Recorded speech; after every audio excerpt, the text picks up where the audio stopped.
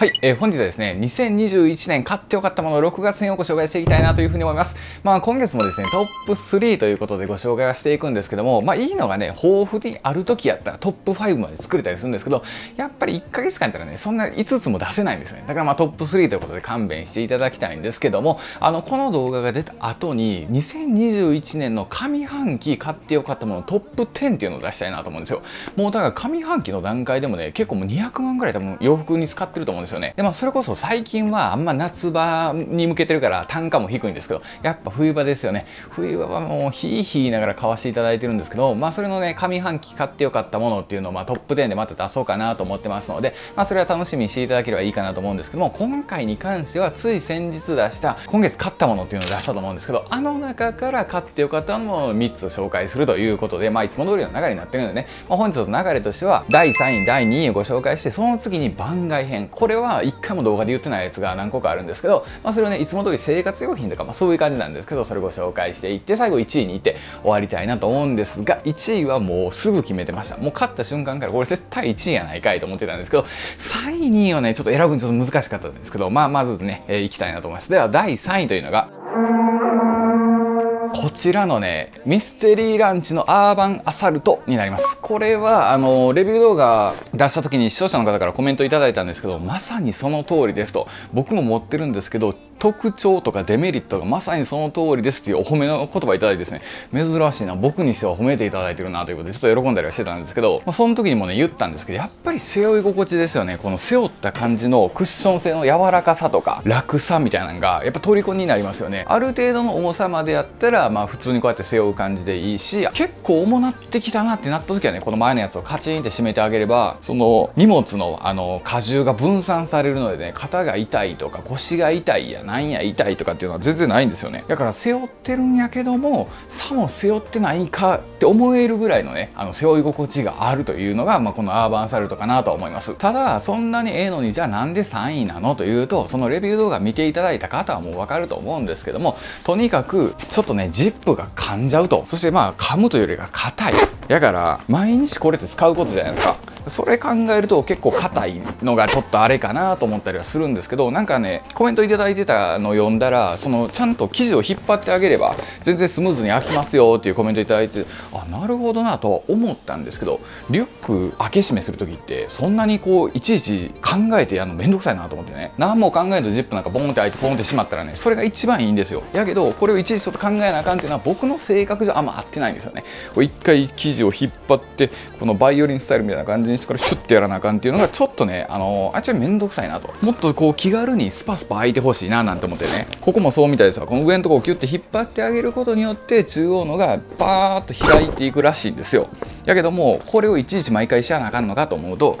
面倒くさがりの僕には要するができないんですね。なので、まあ、3位にちょっとランクが落ちちゃったんですけどこれもしチャックめちゃくちゃ開きやすかったりとかその使い勝手がもうちょっと改良されてたらあ結構いいんちゃうかなって2万ぐらいやったと思うんですけどね。めちゃくちゃええんちゃうかなと思ったりはしたんですけど、まあ、そんな理由でね第3位ということになってます。ではね次第2位に行きたいなと思います。第2位というのがですねこちらのビルケンシュトックのサンダルになっております。これねあの思いのほか良かった。ただめちゃくちゃいいかって言われたらまあそんなうんかなって感じで、まあ、3位と2位はね正直もう並んでたんですよ、まあ、どっちでもええなとは思ったけども一応このビルケンに関してはその購入してから今まで2週間ぐらいかなずっと毎日履いてるんですね。ずっと毎日履いててでその上でねどうやったかっていうのも伝えた方がいいなと思ったからずっと2週間履いてはみたんですけど、まあ、本当にめちゃくちゃいいっていう感じでもないしめちゃくちゃ悪いっていう感じでもない。なんかあクラシックな味の良さがあるなっていうのを履いてみてこう感じたんですよ。だから最初買った時なんかはあんまクッション性も良ないしもともとあんまビルケン好きなイメージなかったけどもまあどうかななんて思ったけど2週間こう毎日履いてたらまあまあそんなに悪い感じではないかなと思ってきて、まあ、履き心地もねほんまにもう昔ながらのサンダルやからまあいいことは全然ないですよ。履き心地ええっていうことはないけどもまあ普通かなと。で僕みたいにねその近所をふらふら散歩する程度やったらこのサンダルは結構まあいいと思うんですよ。ただちょっと小走りで走ったりとかねちょっと歩くのとかも仕事行く前とかやったら急いで歩くねみたいな人とかやったらねこのかかとの部分のちょっともこってるとこと先っちょのもこってるとこがもうビビるぐらい硬いんですよ。だからまあ普段はねこうやってぴったり履いてるじゃないですか。はいぴったり履いてますよなんて言ってるけどちょっと走ったりとかした時ってね足がちょっと前の方に行くでしょ。その時にここ踏んだりしたらねなんかあの足の健康サンダルみたいなあれじゃないですか。イボイボのやつで要はアメトークとかでなんか乗ったら痛い痛い痛いとか言ってるような感じのそれぐらい硬いんですよ。でかといってねじゃあ前に行ったら指痛いから後ろに行くようにしとこうと思った瞬間にここのとこガチンって踏んだらね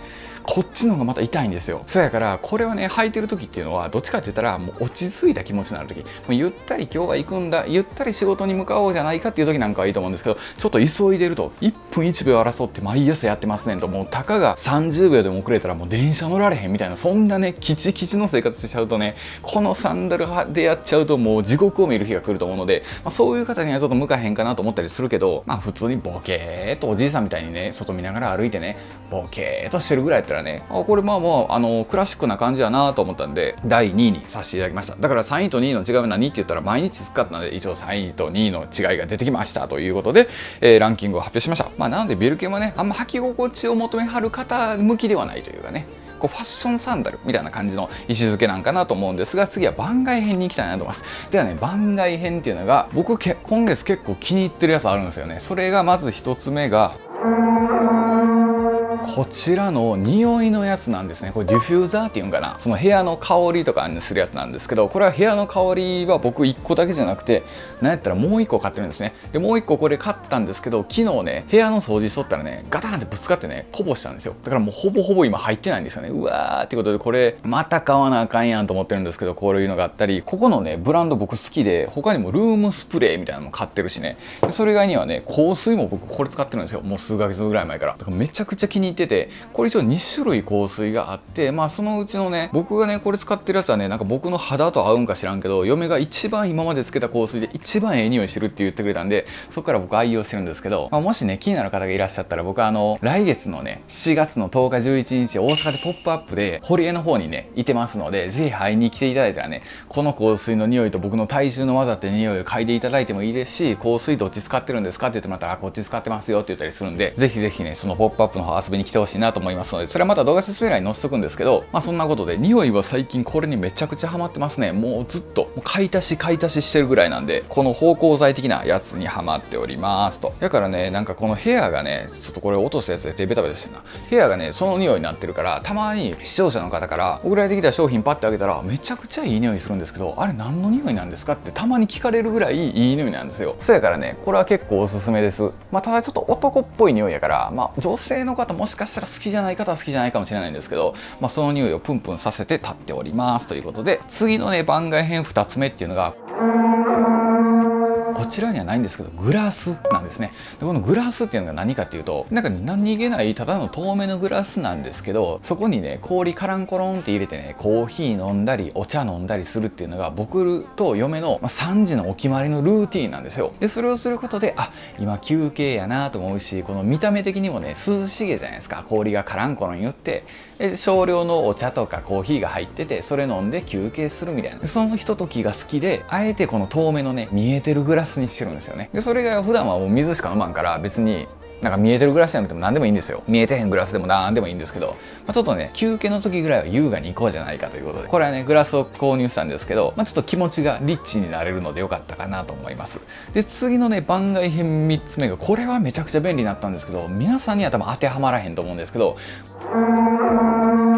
プリウスのねオート式の格納なんとかなんとかってやつなんですよ。それ何かって言ったら僕乗ってるプリウスってねもう結構古くてもう10年ぐらいの10年落ちぐらいしてるかなのプリウスなんですけど嫁ともねもうこれいつまで乗るんっていう話してねタイヤ取れるまでマジで乗ろうぜって言って、まあ、もう次の車検は通すつもりなんでまだまだ乗ろうかっていうは言うてるんですよ。あと2年は乗ろうか言うてるんですけど今まで不便やったんがいちいちドアミラーをね畳んだり閉じたり畳んだり閉じたりして畳んだり開けたりするのを指で絶対やらなあかんのですよ。でも最新のやつって大体鍵のロック開けたらドアが開いて鍵閉めたらドアミラー閉まるじゃないですか。でそんなんがついてへんからそれのキットみたいなのがあるんですよね。でそれを7000か8000かなんかで購入してパチンってつけるだけで勝手にドアミラーが開いたり閉じたりするわ。走り出したらドアロックもパチンって勝手にかかるし。でバッグ入れたらハザード勝手にチカチカと入ってくれるしって一気にね我が家のプリウスちゃんがなんかハイテクになったんですよ。まあそやからねあとまあ2年乗らなあかんからちょっとずつ快適にしていこう言うてねまあ2年しか乗らへんねんけどもされど2年じゃないですか。まあなのでそういうちょっと便利アイテムを買ったんですがまあこれは皆さんに当てはまらんかもしれんけどまあちょっと古い車に乗ってはる方とかやったらそういうキットがついてたりあの売ってたりするらしいので、まあ、試してみるのもいいかなというところでこちらが番外編ですね。匂いのやつ透明のグラスほんでプリウスのやつというこのまあ3つが良かったかなというところで最後第1位に行きたいなと思うんですが第1位はもう決まってました。もうこれでっしょと。これしかないっしょということになってるんですが、えー、第1位というのが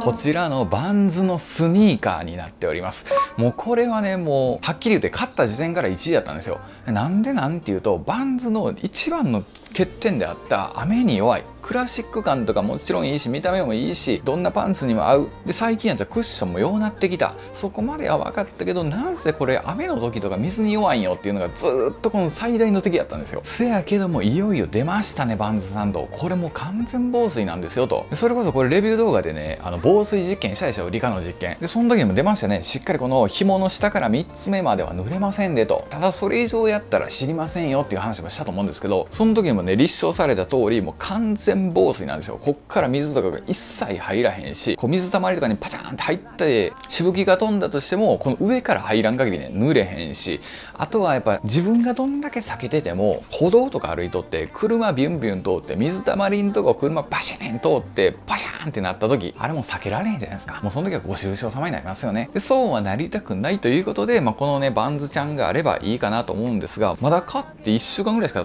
経ってないのにもうガンガン履いてるからめちゃくちゃ汚れてるんですよね。でバンズなんかはね汚れたら汚れた分だけかっこいいじゃないですか。もう泥つけてなんぼシワつけてなんぼ傷つけてなんぼ。だからねガシガシ履いておりますわ。もうこれは良かったと思います。ほんまに今まで唯一欲しいなと思ってた機能がようやくついたのでこれは結構分かっていただける方も多いんちゃいます？1位って言ったらああそれは俺もいいなと思ってたし俺も勝ってんっていう方もね多分いらっしゃると思うんですけどそんなのがね、えー、順位ということになってます。はいということでねまた近々、えー、上半期買ってよかったものっていうのは出す予定になっておりますので楽しみにしといてください。それこそね、えー、春先とかやったらキャンプ用品で20万ぐらい使ってるしもうちょっと前の3月とかやったらねこの部屋借りるためにいろんなもの買ったりもしてるし、まあ、何かしら僕もちょっと今から動画見直していって何買ったかなって覚えてないんですよ。だからもう購入履歴とかいっぱい見ていってあこれよかったなあれよかったなっていうのをねまた作りたいなと思いますので楽しみにしておいてください。ということで本日はですね6月に買ってよかったものトップ3をご紹介してみたという動画になってます。あすいません。あのこのね後ろにかかってるジャケットはあの今からね撮影しようと思ってるジャケットでまだ動画にしないんであの全く関係ないんですけど置かしてもらってました。ということでトップ3を紹介してみたという動画になってます。また別動画でお会いしましょう。ありがとうございました。